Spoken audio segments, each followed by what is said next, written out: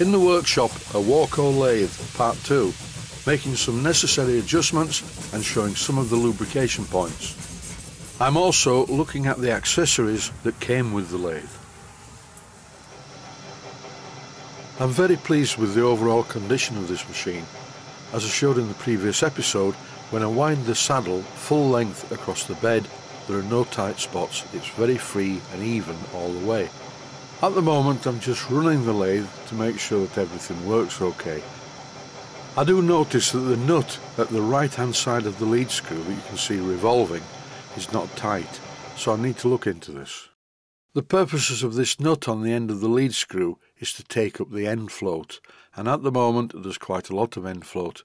It is, however, very important not to over tighten this nut that would not be a good idea at all, as it would put pressure on the lead screw and make it stiff to turn in the housing, which is not good for the rest of the lathe's transmission.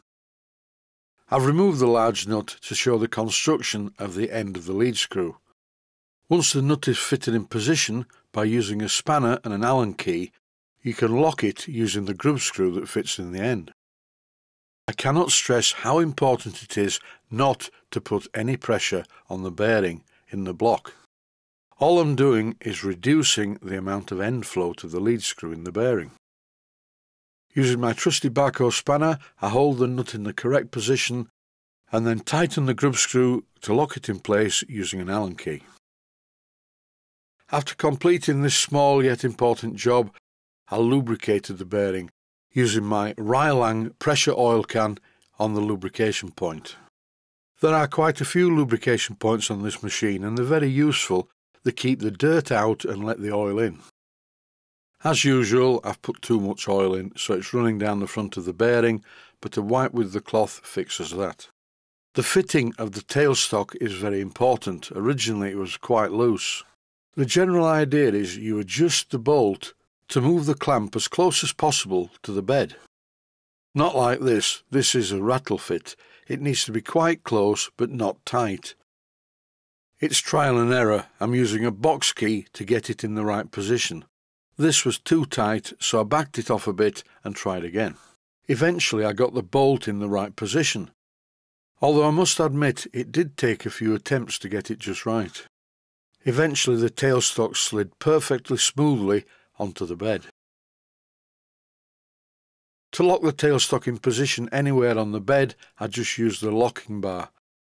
The cam tightens the part that you've just seen me adjusting hard up against the bed on the inside. There are a generous amount of oiling points on this machine. There are four on the saddle, that's the yellow bit, and two on the cross slide. In this clip you can see most of them, the only oiling point that you can't see in this clip is the one on the left hand side on the yellow part of the saddle. I really am impressed with quite a lot of aspects of this machine, the way it's made, although some of the edges are a bit rough, but you can't have everything. This would appear to be an imperial machine, oh dear. Well, good for me because I use imperial measurements. Note that on the saddle hand wheel it's graduated in two thou increments. I bought this lathe from a friend of mine and I also got some tooling and accessories with it. Here they are. In this food container box were various bits of lathe tools. Most of these will go into my other box of various bits of lathe tools because I never use them. Some of this tooling isn't worth bothering with, such as this ground up boring tool that can go in the bin. This could be useful for the lathes in my other workshop. It's a carbide tip parting tool. And this is a spring-loaded chuck key. I need to find the handle for it that's obviously come out of it. I found the handle in the bottom of the box, and here's some Loctite 603 that I used to stick it back into the chuck key. I'm not going to use this spring-loaded chuck key because I don't like them.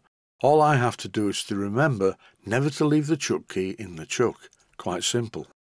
I have used the spring-loaded type of chuck key in the past, but usually they spring out of the chuck when I'm using them, fall on the floor, hitting my foot in the process. There were some other quite useful tools, a very handy size of screwdriver, which is perfect for this workshop. There's also a box key and a cheap set of Allen keys. And if you look carefully, there's an Allen key being used as a Tommy bar on the box key, even though in the box is the proper Tommy bar for the box key. Also amongst the parts is this. In this yellow box is obviously a centre. And better still, it's a live centre, so I'll put that back in the box. I'm sure that this will come in very useful. This is an interesting tool.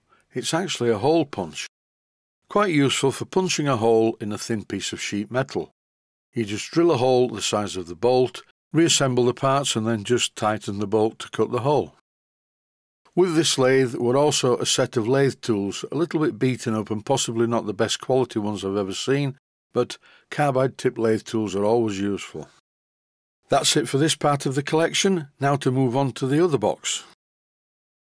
This box contains the outer jaws for the chuck and change wheels, quite a few change wheels, and to be honest I do need to alter the ratio of the change wheels because the traverse is a bit fast. In this box I put the second tailstock chuck and the spring-loaded chuck key which now has its handle securely attached. This is a very well made box, I'm quite impressed with it. It opens and closes very smoothly and the catches are spring loaded. It's very useful and what everyone needs in a workshop. Although I haven't shown most of it on camera, I've been running this lathe to make sure it works okay. And now I do notice that as it's warmed up, it's going faster. Look at the speed readout. Just over 3000 RPM, which is very useful for polishing things. This chuck key also came with the lathe. And also a fixed steady that clamps to the lathe bed for supporting long thin pieces of work so that a long thin shaft will not move away from the cutting tool when being turned. This is another type of steady, it's called a travelling steady because it travels up and down the bed, it needs to be bolted to the saddle. I've also bought an accessory via Amazon that I think is going to be really poor. It hasn't arrived yet, so when it arrives I'll make a video about it. Apart from the large amount of hours that I put in both making and editing these videos, I often buy things to feature in the videos using my own money, I don't have any sponsorship. I can only make these videos provided I have Patreon supporters and I have noticed lately that quite a few of my Patreons have taken the free option. Please be aware if you decide to stop being a patron and join the new, and I don't know why they've done this, free membership option. I just don't see what the point of that is. I have noticed quite a few of my Patreons have opted out and instead of paying one to five dollars a month on average, they've signed up to the free membership. I don't recommend doing this because on a daily basis I check the free members and delete them and block them. To all my genuine Patreon supporters, who help me out on a monthly basis, I really do appreciate it. I cannot make these videos without your help. That's it for now. Stay safe, stay healthy. Thanks for watching, and I hope you found it useful. Please take the time to visit my Mainsteam Models website and click on the section of the website that says Video Playlists. And by doing that, you can find other videos that you may like to watch and by using the playlists you can actually watch the videos back to back.